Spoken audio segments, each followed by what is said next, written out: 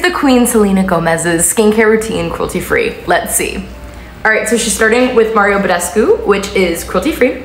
She goes in with Is Clinical, which they say online they're cruelty free. I couldn't find any information about them selling in China, so I think we're good to go. Her own brand, Rare Beauty, she's gonna use their little like eye jellies. The great news is her own brand is indeed cruelty free. After this, she goes with Dermalogica, which is like a brand that a lot of estheticians use. It's a professional brand and it's cruelty free. So good job, Selena. Um, after she's done with Dermalogica, she just goes back in with Rare Beauty, which again is cruelty free. So we're gonna give her a 10 out of 10. Great job.